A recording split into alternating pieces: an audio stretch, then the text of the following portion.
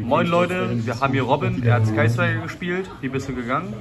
Äh, ich bin 5-0 durchgegangen durchs OTS und ich würde euch einfach mal meine Liste zeigen. Äh, drei Ray, eine Rose. Ich glaube, die kann tatsächlich raus, weil wenn ihr die anfangt, die zu normen, habt ihr sowieso verloren. Ähm, und der ODK mit Linkage ist, glaube ich, auch nicht real.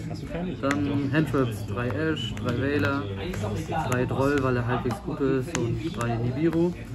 Äh, eine Area Zero, eine Multi-Roll, eine Haunted Drones, 2 Engage, 3 Linkage, 3 Anker, 2 Afterburner, eine Shark Cannon, ein Eagle Booster, ein roter, ein Upstart, äh, die beste Karte im Deck, äh, 3 Frost, weil die Engage sucht und dann Frost Targets, Talents, Feather Duster, Change of Heart und Herald.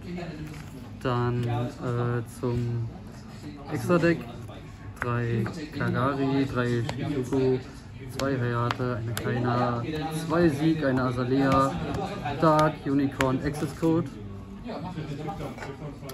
Im Side-Deck 3 Magnamut, ähm, 3 Druiswurm, weil die so ziemlich, weil sie mega viele Matchups abdecken.